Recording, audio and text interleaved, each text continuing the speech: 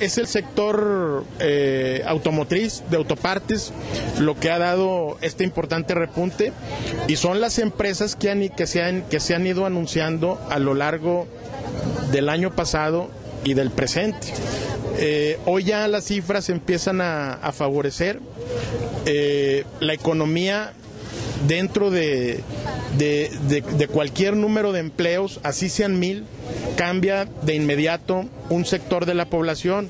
Cuanto más casi ocho mil empleos formales que se generan detectados dentro de, las propias estadísticas del, del, Seguro Social. Se esperan más de cinco mil empleos en esta segunda parte de, del semestre.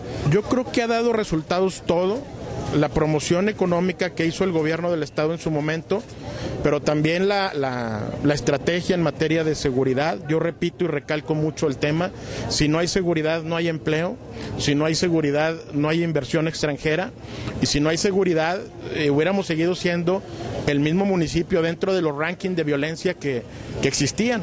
Hoy salimos absolutamente de todos los rankings este, tendientes o indicadores que tienden a la violencia y eso eh, nos ha permitido eh, ser un destino eh, importante, atractivo para la inversión extranjera. No parar año con año de, de seguir construyendo infraestructura necesaria para el desarrollo económico y garantizar los servicios públicos que requiere la inversión, que requiere el ciudadano para que siga siendo Torreón eh, un polo atractivo de desarrollo como lo es hasta ahora.